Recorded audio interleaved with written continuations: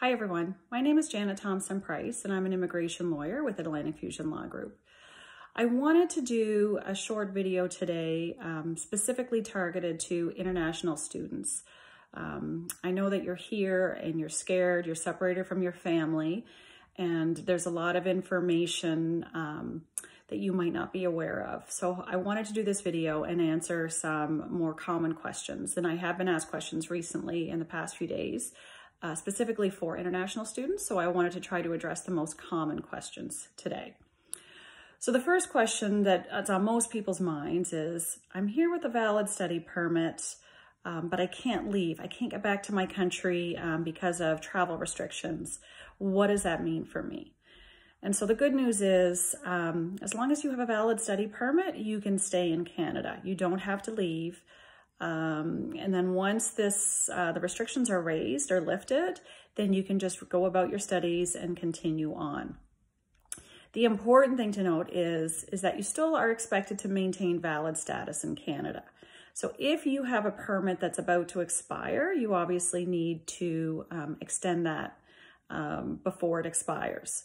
Whether it's extending your study permit because you know you've got additional studies that are coming, or switch your status from student to visitor. Or if you've completed your studies and you have confirmation that you've completed your studies, apply for a postgrad work permit.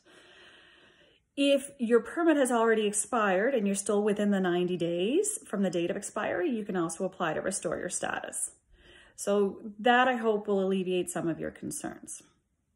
Um, but obviously it doesn't help that you're separated from your families, unfortunately. The next question I had is, um, can I go home? And so while I'm not aware of any restrictions um, on the Canadian law side um, from leaving, uh, there are possibly restrictions on can you even get home? So you'd have to look into that because some countries, uh, their borders are completely closed. And also airlines are extremely limited in terms of their flights right now. You also, uh, more importantly, need to be aware of restrictions to get back into Canada. And so right now, um, and grant you the situation is very fluid and things are changing daily, but right now, you cannot return to Canada with a work permit or study permit. Um, the government's saying you will be allowed to come, but to sit tight and wait for further instructions.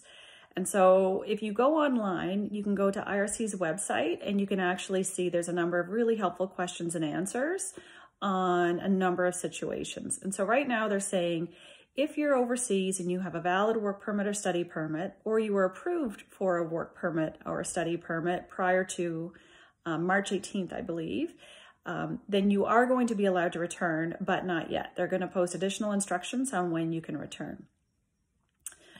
Um, other people were wondering if, is there any way for their family to come during this time? And unfortunately, the answer is no. Um, only Canadian citizens, permanent residents, and immediate family members are allowed to return to Canada presently under this travel ban.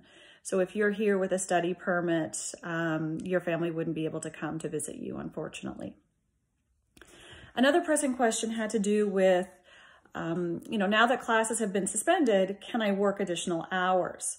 So pre-coronavirus, obviously the rule is with a valid study permit, you can only work 20 hours per week um, during regular class time or an unlimited number of hours during regularly scheduled academic breaks. So what does that mean now? You don't have classes, but this is not a regularly scheduled academic break. And so um, we reached out to IRCC for clarification on this. Um, and actually via Twitter, they came back and responded uh, just with a blanket rule um, that you can only work additional hours during regularly scheduled academic breaks. So we're interpreting that to be, um, this is not a regular break, and so you cannot work the additional hours. Should that change, I will make sure that I put it on Twitter and on Facebook um, because I know some of you are quite desperate or want to work um, just to kind of fill your time right now. And there are employers hiring people um, at grocery stores and whatnot. Another question. Um, so normally, um, if you take a majority of your classes online, uh, you are not eligible for a postgraduate work permit. But because of this extraordinary situation, IRCC has said um, if your university has switched classes to an online model directly because of the coronavirus outbreak, then you will still be eligible for a postgraduate work permit. So that's good news. Um, other questions. So, um, in a nutshell, like I wanted to cover like the main questions, but I also wanted to let you know that I'm doing my best every day to stay on top of the news. Uh, I'm checking Twitter. I'm going on IRCC's website. So by all means, please like um, our firm Facebook page. I'm doing my best to keep that timely and post information. You can also follow us on Twitter. Um, and I'm also trying to share and retweet information as I learn of it. You should also like IRCC's Twitter feed and CBSA because they're doing um, a great job at trying to keep people up to date. Another big question that people had is, um, is IRCC still processing applications? And the answer is, at least as of today, yes, albeit at a reduced capacity. So they are still accepting online applications under for temporary residence, for extensions. They're still accepting applications for permanent residence. And in fact, as recently as Monday, they did an express entry draw. So that's good news.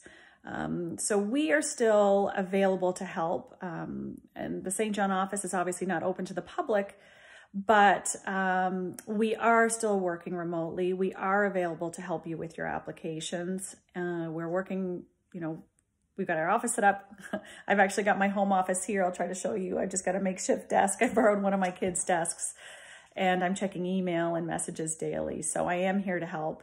Uh, we have a Charlottetown office and my partner there, she's available to help for anyone in PEI. And we just need to get through this together. So hopefully it'll be over soon. But in the meantime, please listen to our government's instructions. Stay at home. Continue to wash your hands uh, very frequently and just stay safe. And hopefully this will be over soon. Thanks.